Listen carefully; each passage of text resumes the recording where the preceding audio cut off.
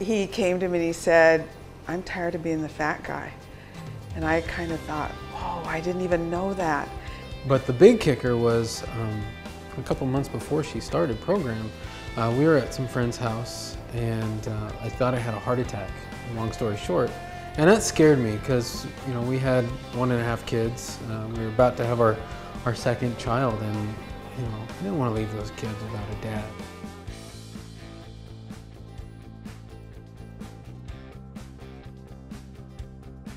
So he was bringing in referrals all the time.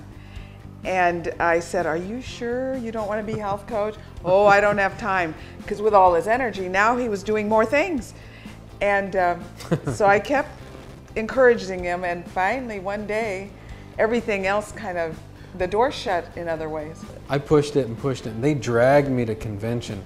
That's where the click was, was I sat down, I went to trainings, I, I sat for two hours with one of the presidential directors, and uh, my goodness, I just was at that point became more of a, a legitimate career path on something that I could do that would be of real benefit to people. That's where it clicked for me was was seeing how it benefited other people instead of just, you know, a nice way to make extra money or something like that. It was something significant for, for me to be doing with my life.